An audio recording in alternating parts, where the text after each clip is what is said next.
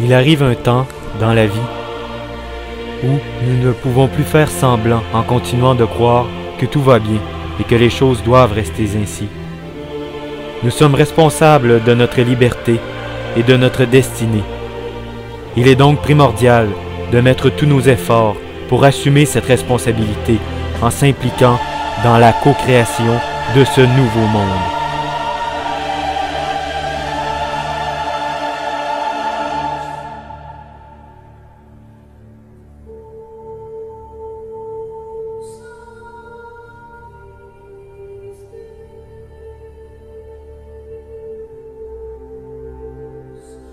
Pourquoi accepter de continuer à croire ceux qui tentent de garder bien endormis les gens du peuple par de belles histoires, quand l'on peut choisir enfin de se réveiller à la réalité?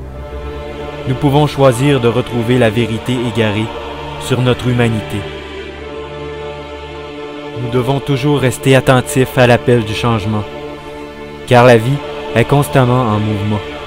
Ce qui semblait bon autrefois pour nous n'est probablement plus ce qui convient aujourd'hui.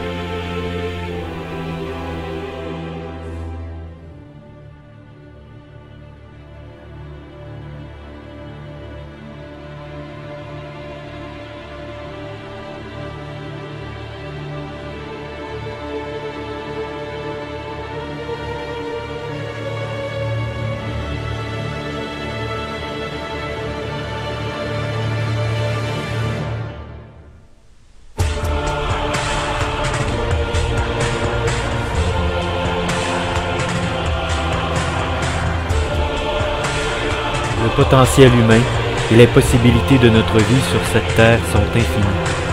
Il n'appartient qu'à nous de nous lever, de nous rassembler et d'exiger que cesse la supercherie que l'on nous offre à la place de nos vies.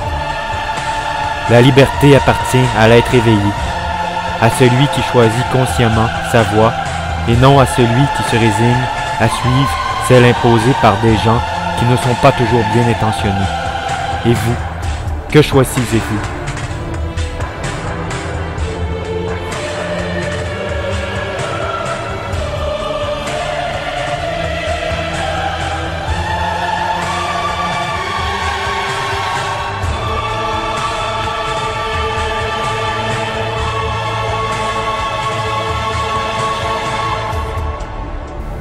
L'intensité du sentiment que procure cette unité du peuple ne peut que nous enflammer, nous pousser à continuer et à oser toujours un peu plus, à augmenter ce temps de protestation, d'affirmation de notre identité en tant qu'individu et en tant que nation, tous ensemble vers un nouveau monde.